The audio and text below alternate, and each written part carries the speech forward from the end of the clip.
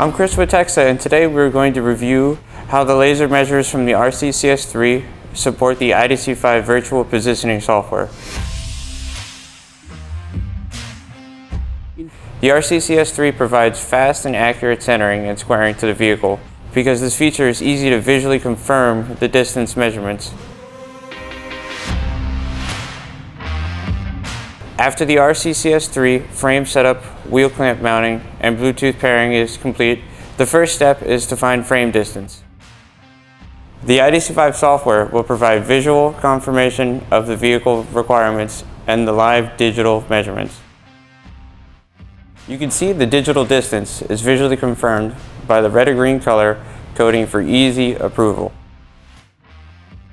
The crossbar distance measures will similarly confirm wheel clamp proximity